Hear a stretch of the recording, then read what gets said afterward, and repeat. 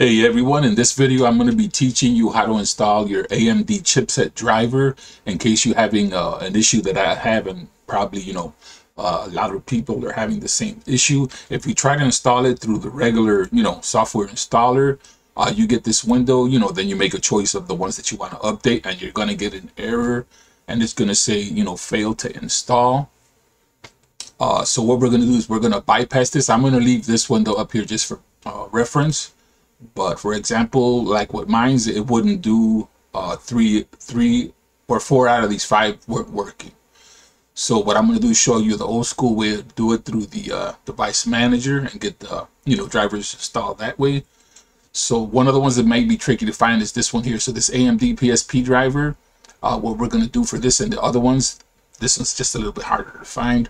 So this AMD PSP driver, we're going to go and go to our uh, Start menu, control panel, we're going to click on System.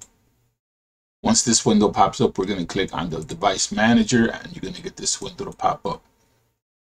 Uh, the one that I was just referencing to, the PSP, is located in the Security Devices. So you would click on here, click on the PSP device, and we're going to do update driver and then what you're going to do is browse my computer for drivers. Once you install the uh, software from AMD you're going to have it in your C AMD chipset software a folder. So you're just going to click on browse. You're going to go to C AMD the chipset software and as you can see here is your uh, GP IO2 driver. Let me go ahead and minimize this window so we can show you here. So you're going to pick them from here. In this case, we're doing the security one. So that one is in another folder. So that I believe is in chipset installer or driver installer. So you just want to make sure you, you know, click on the correct one.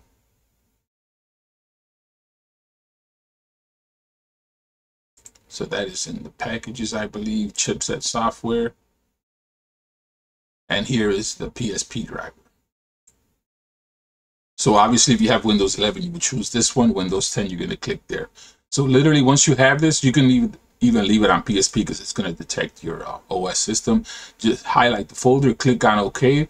And I'm not going to do it on mine because it's already done. But once you click on that, it should say, you know, drivers successfully installed and you're literally going to do that for all of them. That is the way you do it. So I'm going to show you these here real quick. So if you want to do the GPU uh, IO ones just right click on that. Update driver and you're going to do the exact same thing and navigate to the folder that has that. And it's basically you know the same one I showed you earlier. You're just going to pick the binaries or the folder itself click OK and you should see that you know driver successfully installed and that's how you get that done if you're getting that error once you try and do it through here. So that's it for the video. If you guys make use of this and you know found it helpful, go ahead and give me a thumbs up. If you have any questions, as always, post them in the comment section and we'll catch you guys on the next video. Have a great one.